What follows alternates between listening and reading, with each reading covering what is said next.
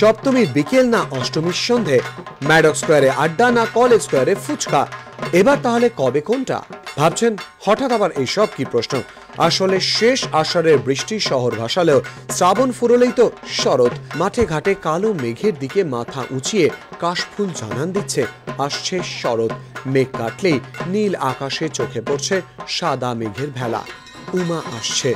পুজোর আর বাকি একশো দিন ব্যস্ততা তুঙ্গে কুমোরটুলিতে। কাঠামো বাঁধার কাজ প্রায় শেষ। এবারে এক মেটে, দো মেটে ধীরে ধীরে প্রাণ পাবে মৃন্ময়ী প্রতিমা। উমাকে ঘরে আনতে কোমর বাঁধছেন উদ্যোক্তারা। কোন থিমে কুপকাত হবে প্রতিপক্ষ? ভাবনায় ডুব ক্লাব কর্তাদের। এবারও পুজো শেষ তিন দিনে। বাঙালির ভাগ্যে এবারও একদিন কম। কি আর করা যাবে? ওই কটা দিনের জন্যই তো প্রতীক্ষা সারা বছরের। চুপিসারে মনের অন্দরে উৎসবের প্রবেশ শুরু প্রতীক্ষা। সব ভুলে উৎসব আনন্দে মেতে ওঠার প্রতীক্ষা। আর হবে নাই বা কেন? পুজো যে আর মাত্র একশো দিন বাকি। এবিপি আনন্দ।